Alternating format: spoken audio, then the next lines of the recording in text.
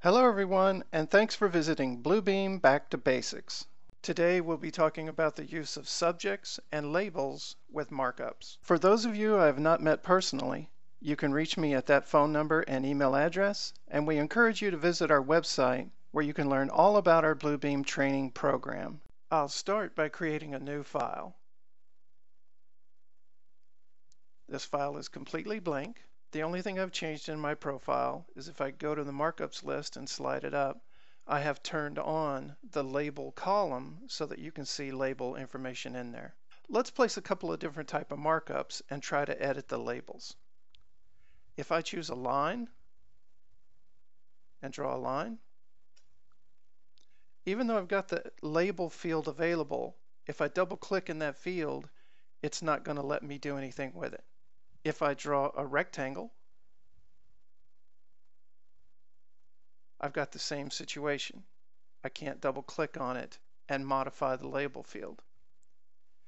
If I select the markup and I go to properties, I can see here that under subject, there's no option for editing the label field.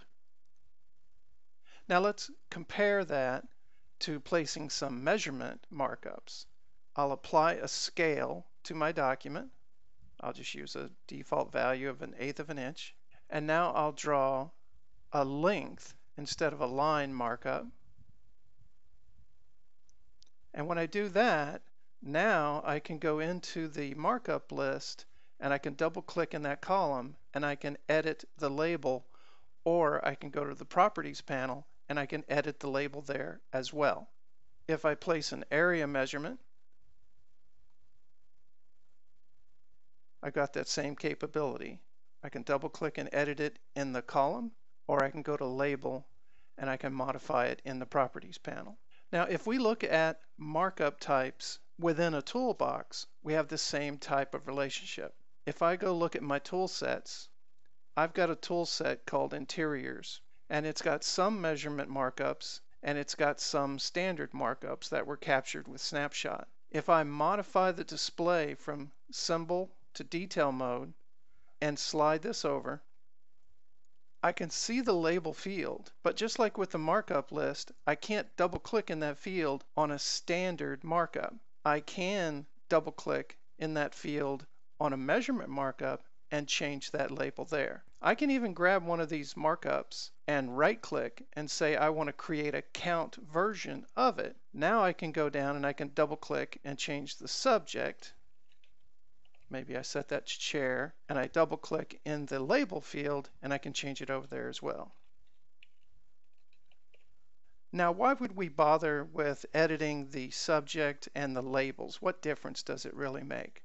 If you ever reach that point where you're working with custom columns, you can establish a custom column that uses a specified subject and label combination so that as soon as you start to place one of these markups in your PDF, it will recognize that and automatically adjust any numeric values associated with that. Let me give you an example. If I go to my markup list, columns, and manage columns, under custom columns, I don't have any custom columns created, but I've done that in the past. So I'm going to import a set of custom columns I created a few days ago.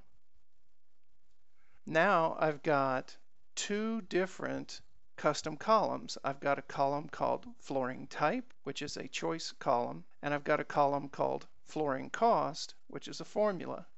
Let's look at flooring type.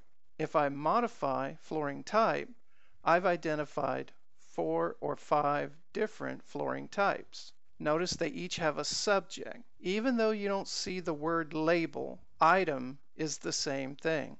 If the markup in your tool set has a combination of subject and label definitions that match the subject and item definitions in your custom columns, that relationship will be recognized and honored.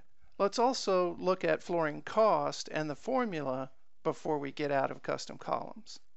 I've got a formula that says the flooring cost is the sum of the area multiplied by the flooring type, and each flooring type has been assigned a value. Shag carpet costs a dollar a square foot, Berber $2 a square foot, tile at a 45 degree angle is more expensive than a 9 by 9 tile and concrete is two and a half dollars per foot which I've assigned when I created my custom column.